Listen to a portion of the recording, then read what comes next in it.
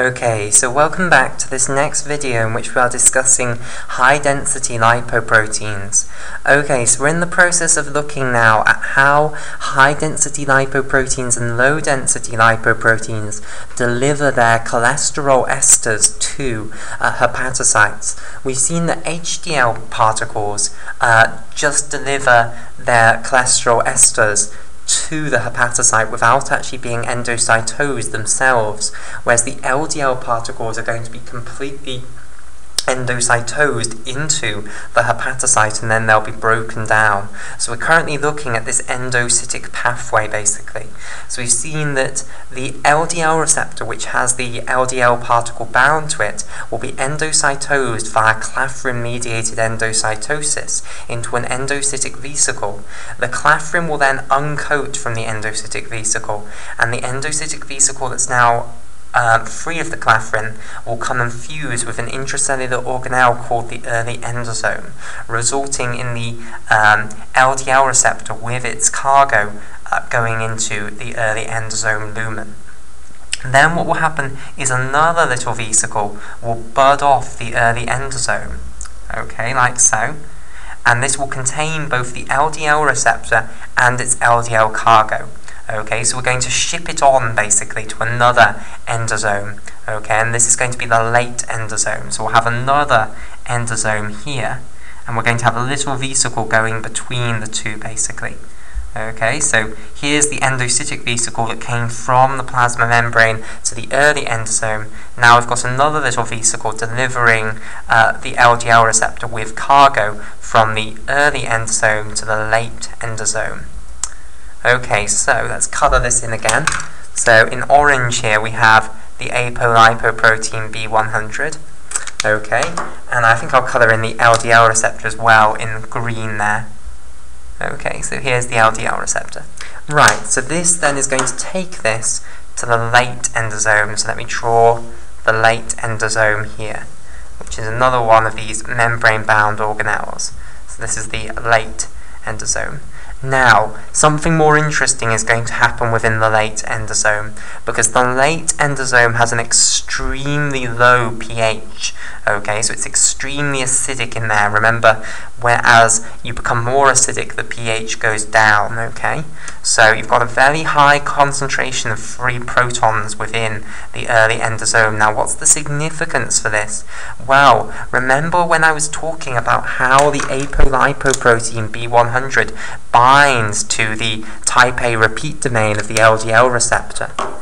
Okay, um, the apolipoprotein B100 has basic residues within it, and the type A repeat domain of the LDL receptor has acidic residues within it. Okay, now the significance of it going now into a very high proton concentration environment is that those acidic residues within the uh, type A repeat domain of the LDL receptor are going to become reprotonated. Okay, so they'll go from being their conjugate bases where they've lost their protons to being the neutral uh, amino acid residues where they have protons attached to them. Now, when they're neutral, do you think they're going to be able to interact with the positive charge on the apolipoprotein B100? No, is the answer. So what will happen is they will cleave apart, basically. So in the uh, sorry, in the late endosome, what's going to happen is um, the LDL receptor is going to cleave away from the LDL particle. Okay, so they're now going to separate. Then what's going to happen? So if we draw the LDL receptor that's now on its own over here, okay, so it's going one way and we'll have the LDL going the other way, okay, we're going to pinch off vesicles from the late endosome which contain now just the LDL receptor. Okay, so here's our LDL receptor, and these vesicles will then go back to the plasma membrane. Okay, so here is the vesicle containing the LDL receptor, and it's going to go back to the plasma membrane so that we return the LDL receptor to the plasma membrane, basically. So this is a recycling process here. Okay, so that will go to the plasma membrane, which I'll just abbreviate as PM for plasma membrane. Meanwhile, what will happen is the LDL will go another way and it will have a vesicle pinch off from the late endosome which just contains it. But it's not going back to the plasma membrane, okay? It's going somewhere much, much worse. Okay, so here is our LDL particle, now in another little vesicle, and now it's going to go to structures called lysosomes. Okay, so let's have a lysosome over here, and you're going to have this little vesicle coming from the late endosome, which will be going to this lysosome here. So let's colour in the lysosome in a special colour, in purple here. This represents the lysosome. Okay, and the lysosome is full of enzymes which are going to break down the LDL particle. So now our LDL particle is coming to this slightly larger uh, vesicle-like structure known as the lysosome. Okay, and you have multiple lysosomes within your cell. Okay, and what will happen is this will fuse with the lysosome membrane, and then in comes our LDL particle into the lysosome. And what's going to happen is that the enzymes within the lysosome are going to break down the LDL particle completely. So, for instance, the apolipoprotein B100, which has gradually shrunk in my pictures, um, not, not intentionally, uh, is going to be broken down into little fragments of protein. Okay, the lecithin molecules, okay, so here, these phosphatidylcholine molecules which make up the phospholipid monolayer, those are all going to be broken down to release fatty acids and glycerol and other such things. Okay, uh, the cholesterol that's in the phospholipid monolayer, that will be spared, okay? The cholesterol will be conserved. You're not going to break the cholesterol down. The cholesterol esters, which are in the center, all you're going to do there is hydrolyze that ester link between the long chain carboxylic acid and the cholesterol molecule, and therefore you're going to release more cholesterol. So the overall message here is that you are getting cholesterol, cholesterol, cholesterol. Yes, you're getting a few other things as well, such as fatty acids, which can just be used in metabolism, but the overall thing we're delivering most of is cholesterol. Okay? So, we can now reconverge the two pathways. So this is LDL delivering cholesterol into the hepatocytes. Okay? HDL we've seen is also delivering cholesterol into the hepatocytes. It's delivering its cholesterol esters out of its core, but the cholesterol esters will then be broken down to cholesterol. Okay, so both of these pathways are dumping cholesterol into the hepatocyte cytoplasm. Now, what's the result then of dumping cholesterol into the hepatocyte cytoplasm? Well, the same process has happened in the, the peripheral cell ages ago now uh, is going to happen within the hepatocyte. Okay, when cholesterol goes up, what will happen is oxysterols will also go up. And you remember when we were discussing oxysterols, I told you about 24S, uh, 25 uh, epoxy cholesterol, okay, which was an example of an oxysterol that was specifically found in high uh, levels within the liver cells. Okay, so let me just remind you of the structure of 24S 25 epoxy cholesterol, which is one of the key oxysterols found within hepatocytes. Okay, so here's the A ring of our steroid structure. Here's the B ring of our steroid structure. Here's the C ring of our steroid structure. And whoops, here's the D ring of our steroid structure. Okay, we've then got an alcohol group coming off here We've got that double bond between the fifth and the sixth carbon, a methyl group coming off the tenth carbon, a methyl group coming off the thirteenth carbon, and then we've got our group up here coming off the seventeenth carbon. Okay, so remember the numbering system was this one was 18, this one was 19, this one was 20, 21, 22, 23, 24, 25, uh, 26, and then 27. Okay, so what we're going to produce is an epoxy link between the 24th and the 25th carbon there, and that's 24S25 epoxy cholesterol. Okay, so this is a decent example of an oxysterol present within the liver. Now what will happen is the oxysterol will then go and bind with the liver X receptor within uh, the nucleus of the hepatocytes. Okay, so let's just remind ourselves of this, and this time I can get it right. Okay, so here we have this heterodimer of these two receptors that are within the nucleus. Okay, one is the liver X receptor, and hopefully you'll remember me telling you that there were two types of liver X receptors. There was the liver X receptor alpha and the liver X receptor beta, and the main form that's found in the liver is the liver X receptor alpha. Okay, so we can now say, since we're specifically talking about hepatocytes, that this is the liver X receptor alpha. Okay, then we've also got a retinoid X receptor here, the RXR.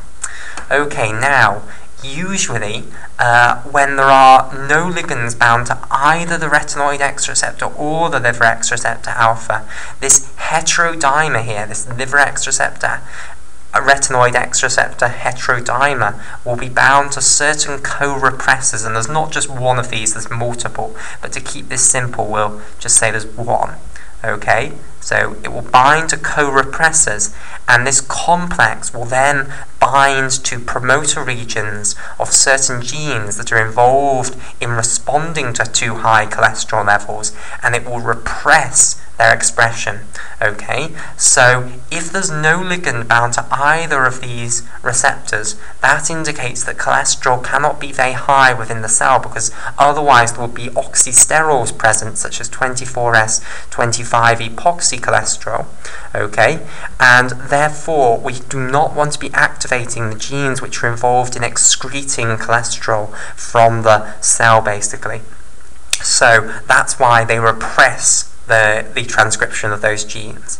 However, when cholesterol is high within the cell, you'll produce oxysterols such as 24S25 epoxy cholesterol, and the oxysterol can then bind to the liver X receptor here.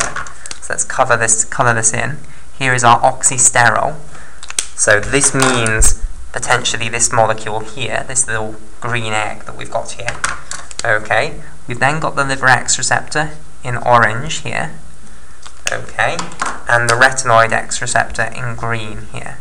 Okay, what will then happen is you'll shed the co-repressor, okay, so get rid of this and replace it with coactivator proteins. Now again, there's not just one of these, there's multiple, but for our purposes we can just abbreviate them to coactivator. Okay, so the co-repressor's gone, the coactivator's here now. This complex now activates those same genes that it was repressing before so that you express more of them. Now, what are the genes which you activate in the liver which are going to help you excrete cholesterol? Okay, well, there are three that are extremely important. Okay, two of them are going to be ABC transporters. So one is the ABC transporter G5, okay? The other is the ABC transporter G8, okay? And I think I'll start by discussing these two ABC transporters and then we'll come back to the third protein that I want to discuss, which uh, this complex is going to increase the expression of. Okay, so basically both of these ABC transporters are half transporters. So they need to um, dimerize basically, and they usually form homodimers to produce active transporters which can then uh, pump cholesterol out of the cell. Okay, you might say, but this is completely cyclic. They can't just pump it out of themselves, but where are they going to pump it back into, rather? Um, they're not going to pump it into the blood, is the answer. They're going to pump it into the bile ducts, okay? And that's the important point. So let me just draw a picture of what these half transporters look like. So remember, they'll have a single nucleotide binding domain at their amino terminus, followed by these, this cluster of six membrane-spanning alpha helices, which makes up their single transmembrane domain here. So this is the nucleotide binding domain down here, or the ATP binding cassette, whilst this is the transmembrane domain up here. And here's the carboxylic acid terminus. Right, so you need to dimerize these things together to make a transporter. And when they do dimerize together, they transport cholesterol out of the cell. Okay, so remember, hepatocytes are all in contact with a bile duct. Okay, so if this is our hepatocyte, one side of the hepatocyte will be facing the blood.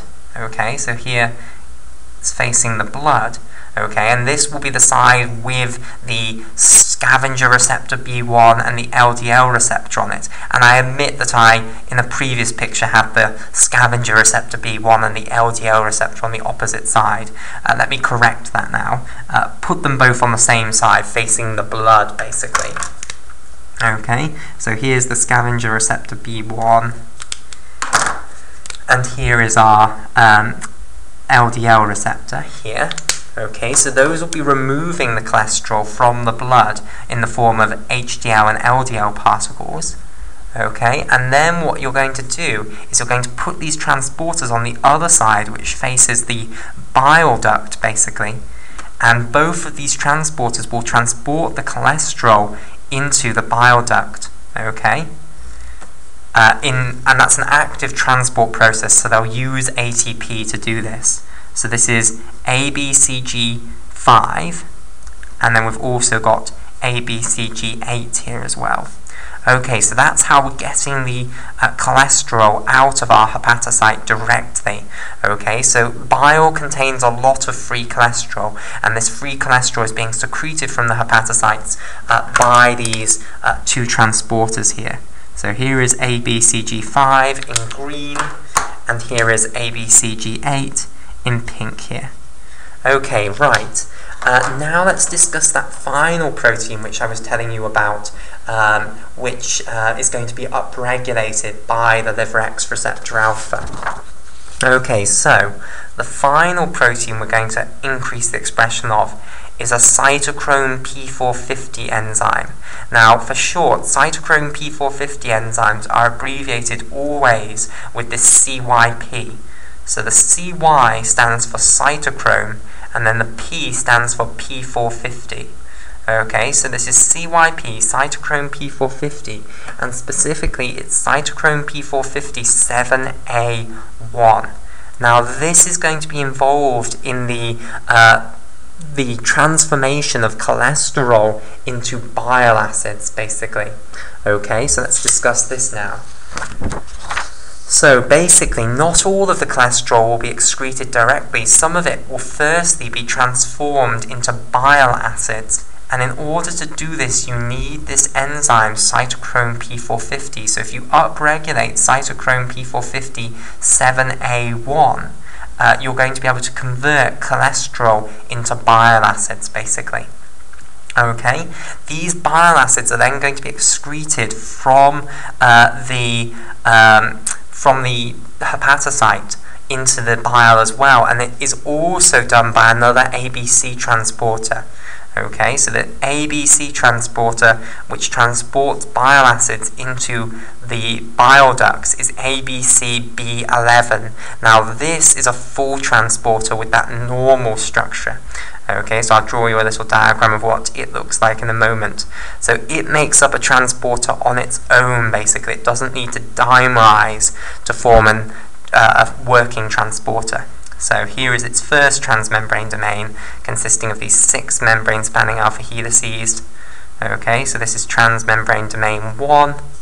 Then we have the nucleotide binding domain in the loop between transmembrane domain 1 and transmembrane domain 2, and this is the nucleotide binding domain 1.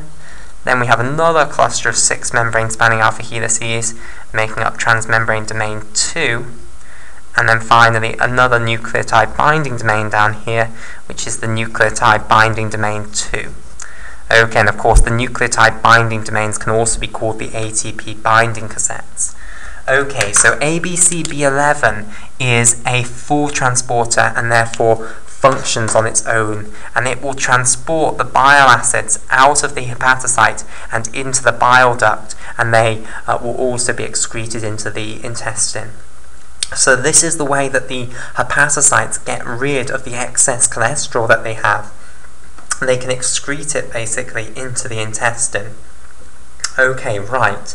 So let me now talk to you about an example of a bile acid.